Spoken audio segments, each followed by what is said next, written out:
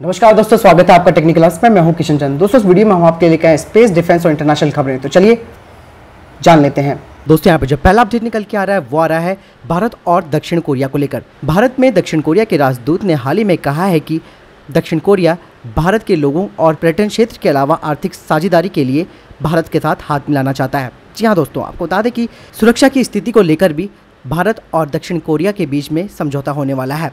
भारत के तेज विकास की चाह में दक्षिण कोरिया का बहुत महत्व है। भारत की आबादी दक्षिण कोरिया से 24 गुना अधिक है, जबकि प्रति व्यक्ति जीडीपी के मामले में यह दक्षिण कोरिया का महज सोलवा हिस्सा ही है। इस प्रकार दोनों देशों के रिश्ते एक दूसरे के लिए काफ़ी पूरक माने जा सकते हैं, क्योंकि जहाँ दक्षिण कोरिया के पास उन्नत तकनीक और विशेषज्ञों के साथ पूंजी मौजूद है तो वहीं भारत के पास बहुत बड़ा बाज़ार और प्रचुर मात्रा में उपलब्ध कच्चे माल है। लेकिन यहाँ प्रत्यक्ष बुनियादी ढांचे की अभी कमी है। गुजरात जितना बड़ा, ये छोटा सा देश, यानी कि दक्षिण कोरिया, ग्रीष्मकालीन और शीतकालीन दोनों ही तरीके के ओलंपिक गेम्स का भी आयोजन कर चुका है। आज यहाँ की कंपनियाँ भारत समेत पूरी दुनिया में कंज्यूमर इलेक्ट्रॉनिक्स मोबाइल फ़ोन और ऑटोमोबाइल दे रही हैं। और बुनियादी ढांचे का निर्माण भी कर रही हैं। भारत के साथ मज़बूत भागीदारी बनाने के लिए राष्ट्रपति मून की प्रतिबद्धता पहले से दिख रही थी। मून की नई दक्षिण नीति की पृष्ठभूमि में प्रधानमंत्री नरेंद्र मोदी मई 2015 में दक्षिण कोरिया गए थे। इससे दोनों देशों ने अपने संबंधों को विशेष रणनीतिक साझेदारी में बदल दिया और इस दौरान दक्षिण कोरिया ने भारत में बुनियादी ढांचे के विकास के लिए 10 अरब डॉलर के क्रेडिट लाइन की बुनियाद रखी। तो, तो आप समझ सकते हैं कि दक्षिण कोरिया के साथ भारत के संबंध मज़बूत होने जा रहे हैं और यही एक नई दक्षिण नीति के तौर पर देखी जा रही है। दोस्तों ये एक तरह से मेक इन इंडिया प्रोग्राम के तहत दोनों देशों के बीच में एक अच्छी साझेदारी के परिणाम के स्वरूप में हम इस दोस्ती को देख सकते हैं और इससे भारत को फ़ायदा ही होगा और दक्षिणी कोरिया को भी काफ़ी ज़्यादा फ़ायदा होने वाला है। दोस्तों, यहाँ पे जो अगला अपडेट निकल के आ रहा है, वो आ रहा है एफजीएफए को लेकर। रूस के साथ दो लाख करोड़ के लड़ाकू विमान समझौते से भारत अब अलग होने जा रहा है। दोस्तों, वैसे भी पहले भी बहुत से न्यूज़ चैनल्स में एक खबर ये दिखाई जा रही थी कि शायद भारत पुनर्विचार कर सकता है एफजीएफए प्रोग्राम के तहत रशिया के साथ। दोस्तों, आपको बता दें कि आधिकारिक सूत्रों की तरफ़ से अभी ये खबर आ रही है कि दोनों देशों के बीच बेहद महत्वाकांक्षी परियोजना पर अभी बातचीत खत्म नहीं हुई है, जिसका कारण है लागत। जी हाँ दोस्तों, आपको बता दें कि सैन्य संबंधों को नई ऊंचाई पर ले जाने के मकसद से भारत और रूस के बीच 2007 में लड़ाकू विमानों को संयुक्त रूप से तैयार करने का करार हुआ था। लेकिन लागत साझा करने, इस्तेमाल की जाने वाली तकनीक और तैयार किए जाने वाले विमानों की संख्या के मसले पर गंभीर मतभेद पिछले 11 सालों से चल रहा है और ये परियोजना अटकी हुई है। आपको बता दें कि भारत ने लड़ाकू विमान के प्रारंभिक डिज़ाइन के लिए दिसंबर 2010 में उनतीस करोड़ डॉलर देने की सहमति व्यक्त की थी। जी हाँ बाद में दोनों पक्षों में अंतिम डिज़ाइन और पहले चरण में विमान के उत्पादन के लिए छः छः अरब डॉलर का योगदान देने पर भी सहमति जताई थी लेकिन इस पर कोई समझौता नहीं हो सका। भारत चाहता है कि विमान के इस्तेमाल होने वाली तकनीक पर दोनों देश का समान अधिकार हो। लेकिन दोस्तों यहाँ पे आ, रशिया जो कहता है रशिया का सीधा सीधा मानना है कि रूस विमान में इस्तेमाल की जाने वाली सभी अहम तकनीकों को भारत के साथ साझा करने के लिए तैयार नहीं है।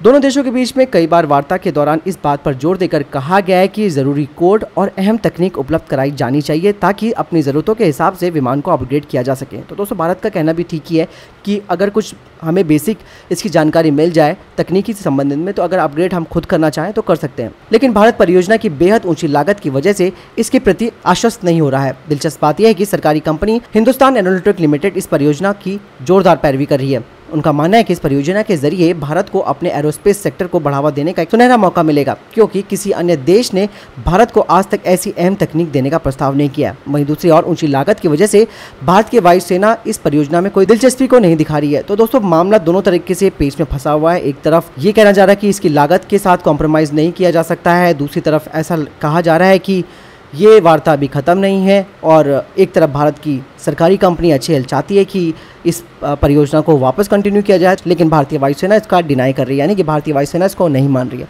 तो दोस्तों, बहुत तरीके से पेच फंसा हुआ है। जहाँ तक दोस्तों मेरा मानना है कि अगर लागत बढ़ रही है और नियमित इस तरीके से रूस हमारे साथ तकनीकी को, तकनीक को साझा करने से मना कर रहा है तो दोस्तों ऐसी डील का भी कोई फ़ायदा नहीं है, क्योंकि इसके जो हमारे दूरगामी परिणाम है, वो हमको नहीं मिल पाएँगे। क्योंकि कल को अगर कोई दिक्कत आती है किसी भी फाइटर प्लेन में और हमें उसको अपग्रेड करना है तो हमें उसके लिए फिर रशिया पर डिपेंड होने की ज़रूरत पड़ जाएगी। और रशिया पर डिपेंड होने का मतलब है कि आपको जो कॉस्ट लगने वाली होती है मेंटेनेंस की, वो बहुत ज़्यादा। तो दोस्तों, आप बहुत सोच समझ कर विचार करने की ज़रूरत है भारत को। एफ़ प्रोजेक्ट को खुद से डेवलप करने के लिए भारत को आगे आना चाहिए। जो सरकारी कंपनी एच ने जैसे कहा है कि ये अच्छी डील है करना चाहिए।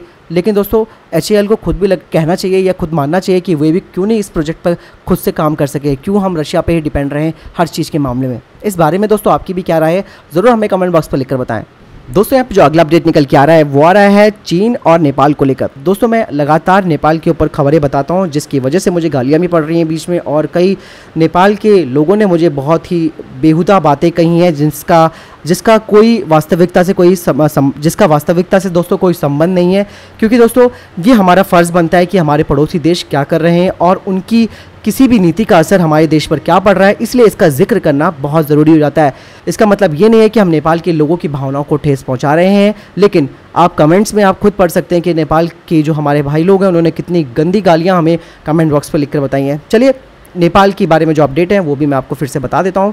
दोस्तों, आपको बता दें कि नेपाल के प्रधानमंत्री के शर्मा ओली जब से सत्ता में आए, उनकी बीजिंग के साथ दोस्ती और ज़्यादा बढ़ गई है। आपको बता दें कि नेपाल ने हाल ही में चीन के साथ सीमा पर संयुक्त रूप से निगरानी रखने के लिए समझौता किया है और दो हज़ार पंद्रह में आए हुए भूकंप से दोनों देशों के बीच में जो व्यापारिक मार्ग था, जिसे हम तातो पानी और झांगुम के नाम से जिसे कहते हैं, वो बंद हो गया था। लेकिन अब ये दोबारा खोला जाएगा।